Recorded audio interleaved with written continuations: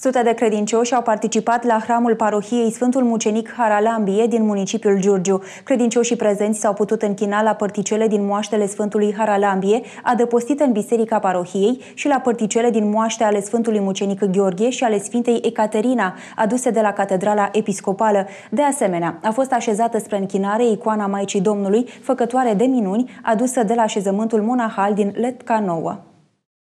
În ziua hramului parohiei Sfântul Mucenic Haralambie, preasfințitul părinte Ambrozie, episcopul Giurgiului, a săvârșit aici Sfânta Liturghie. Răspunsurile la stran au fost date de corul seminarului teologic Teoctist Patriarhul din Giurgiu.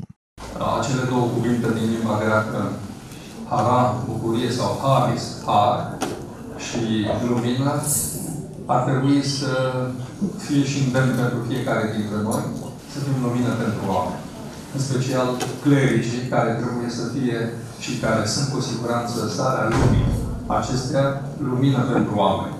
Ar trebui astăzi să medităm la ceea ce se cheamă paternitate duhovnicească.